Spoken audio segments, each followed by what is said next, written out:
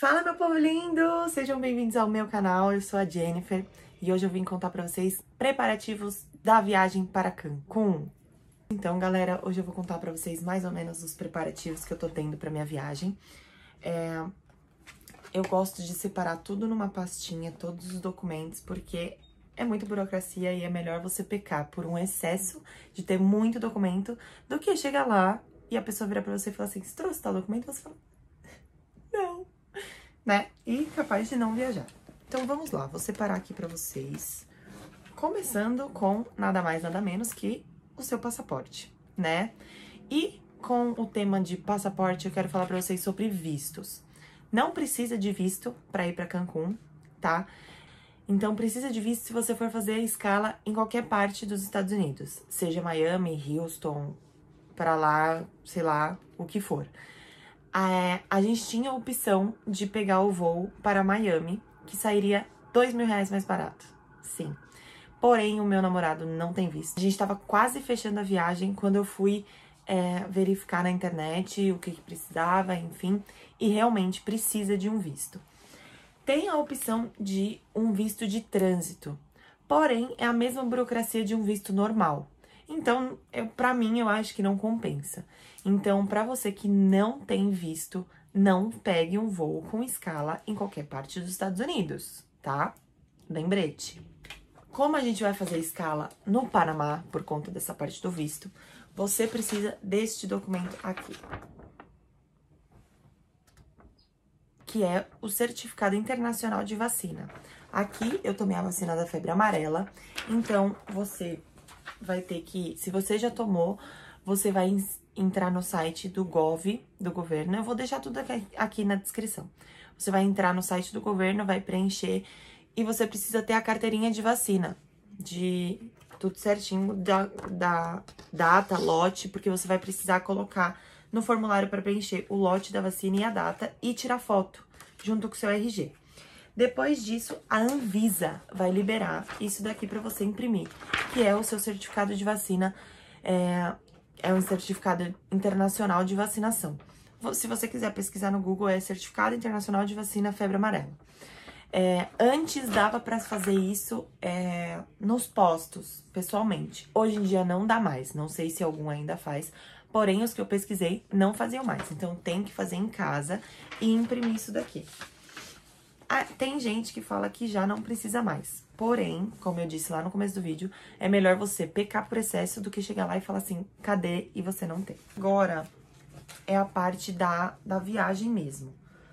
Aqui eu sempre imprimo todo tipo de voucher, é, tudo que eu vá precisar ou tudo que eu não vá precisar. Aqui eu tenho a parte do seguro viagem. Tem muita gente que fala, ai, não, não precisa. Gente, pra mim, a gente nunca viajou sem, sem seguro viagem. A gente pagou 168 reais por pessoa para 10 dias de viagem. Então, isso aqui é imprescindível, porque, ó, tudo que ele cobre, tem tudo aqui, ó. Então, cobre despesa em viagem para exterior de até 50 mil dólares, é, indenização por hospitalização de, devido ao Covid, translado do corpo devido à morte, várias coisas é, que você fala assim, ah, é bobagem, tá. Aí você chega lá, quebrou um dedinho, você vai ter que pagar. Então é muito mais fácil você ter o seu seguro viagem. Então contratem, imprimam tudo, tenham sempre tudo bonitinho escrito para não dar nenhum problema. Aqui é a parte do voo. Todos os vouchers de voo, então a gente vai fazer escala em Porto Alegre e depois no Panamá. Então aqui tá tudo certinho, todos os dados do voo, o horário que a gente volta, aqui o que tava escrito, eu imprimo tudo, tá? E aí do voo tem aquela parte de documentação, né? Uh, aqui é a reserva do meu translado, que já estava incluso no nosso, no nosso pacote, então é o transfer. Aqui também, a, da onde a gente vai, para onde a gente vai, o horário que ele vai buscar a gente, é, a empresa, tudo bonitinho, é, qual é o serviço, ponto de encontro, tem tudo já bonitinho, então eu imprimo tudo para levar. E por último, não menos importante, né, o hotel, o voucher do hotel que você vai ficar, é, com as datas que estavam, estão reservadas, nove noites, quarto, tudo bonitinho. Por quê? É, eu nunca fui pra Cancún, é minha primeira viagem, então por isso que eu tô fazendo esse, esse, esse vídeo aqui pra vocês, até pra vocês curtirem comigo, pra quem também nunca foi, dar algumas dicas do que eu tô passando, do que eu vou passar. É, ir pros Estados Unidos, eles pediam coisa de hotel, é, onde a gente ia ficar hospedado, quanto a gente estava levando de dinheiro. Então, nunca se sabe quando eles vão encanar com você, então é sempre bom ter toda a documentação.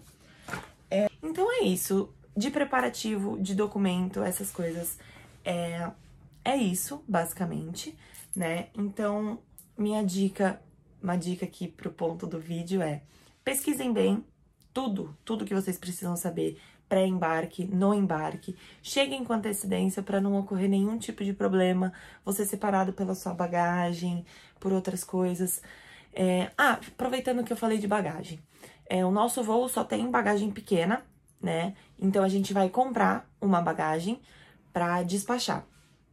Por quê?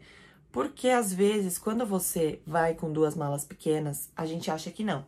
Mas eu sou viciada naquele programa do aeroporto.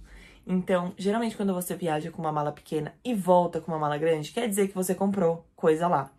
Então, se você não tiver declarado, essa parte eu não sei como funciona, mas eu sei que para os Estados Unidos é assim. É, então, vai que em Cancún também seja. É, você não declara tudo que você está trazendo, enfim, você vai pagar taxa. Então, é sempre bom você já comprar daqui. Se você comprar antes, que nem só abre para comprar em 48 horas, se eu não me engano. Depende da companhia aérea também. Então, a gente vai comprar uma bagagem grande para despachar. É mais barato você comprar e de volta, já compra agora. Mais barato você comprar antes do que chegar lá e comprar. Então, compensa bem. É, então é isso, os preparativos e fiquem ligadinhos aí que eu vou filmar tudo para vocês. Então aguardem os próximos capítulos de Cancún, que vai ser muito legal, confesso que eu tô muito ansiosa, viu? Então é isso. Beijo até o próximo.